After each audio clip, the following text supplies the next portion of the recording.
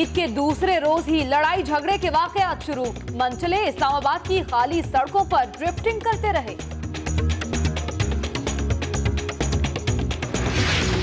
تین ہزار کی گنجائش والے شہر میں چالیس ہزار سے زائد گاڑیاں گھس آئیں۔ ملکہ کوثار کا میزبانی سے انکار، شہری خوار ہو گئے۔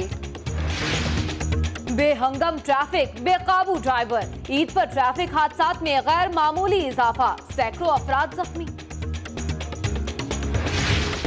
اسلام آباد پولیس کا زبردست ایکشن اوور سپیڈنگ اور ون ویلنگ کرنے والے سات سو سے زائد منچلے پکڑ لیے۔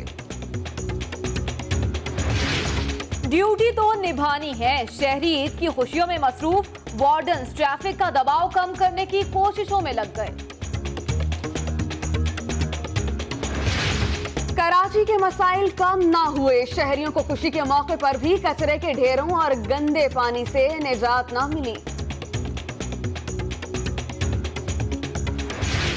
دن سیر و تفریح میں گزرا۔ اب ہے کھانے کی باری۔ فیصل آباد میں فوڈ سٹریٹ کی رونقیں بڑھ گئیں۔ واہگہ بارڈر پر پرچم اتارنے کی تقریب، شہری نعرے لگا کر جوانوں کا لہو گرماتے رہے۔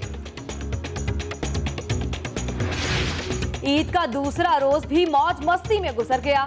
بچوں کی چڑیا گھر کی سیر۔ جھولوں کی سواری کا بھی خوب لطف اٹھایا۔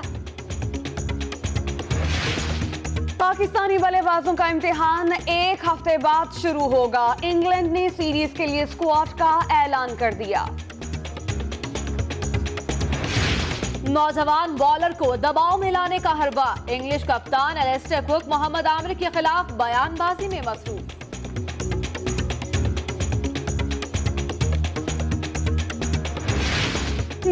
اسماعیل خان میں دہشت گرد بے قابو، مزید دو شہریوں کو نشانہ بنا دیا۔ مجلس وحدت مسلمین کا آج ملک بھر میں ہڑتال کا اعلان۔ عمران خان کی صوبائی حکومت کو فوج کے ساتھ مل کر ٹارگٹ کلرز کے خلاف ایکشن کی ہدایت۔ پیناما معاملے پر حکومت کے خلاف احتجاجی تحریک کے لیے بھی تیار۔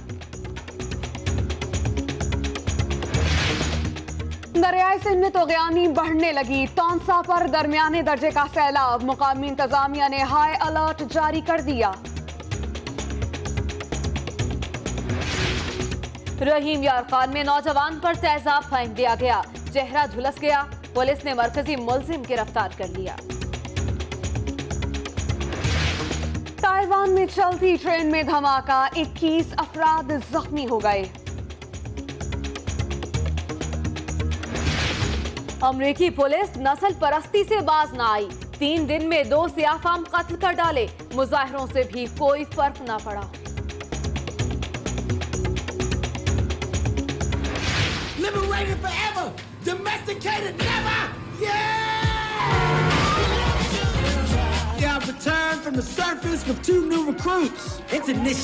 Time. I'm sorry, what time? اور معصوم جانوروں کی چلولی شرارتوں پر مبنی film secret life of pets آج ریلیز ہوگی۔